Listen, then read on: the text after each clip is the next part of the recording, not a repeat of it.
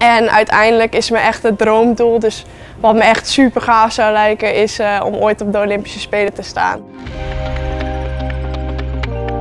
Voor de wedstrijd was ik best wel zenuwachtig, omdat het ook mijn eerste keer was dat ik in Tialf reed waar er zoveel mensen bij elkaar waren. Vooral thuis, toen mijn ouders alvast die kant op gingen en ik daar nog thuis zat te wachten totdat ik weg kon gaan.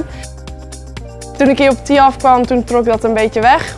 Uh, toen had ik er vooral heel veel zin in en uh, was ik lekker bezig met mijn, warming-up. Bij het schaatsen aantrekken probeer ik vooral de focus te vinden en uh, lekker in die flow te, te, zijn, zeg maar. Ik heb altijd mijn geluksokken aan. en daar staat ook mijn naam aan de onderkant en nou ja, er staat dan rood-wit-blauw op. Dus ja, dat is een beetje mijn dingetje. Dus dat heb ik altijd aan als ik een belangrijke wedstrijd heb. En als ik mijn schaats aan heb, dan kan ik lekker het ijs op gaan en dan begint het.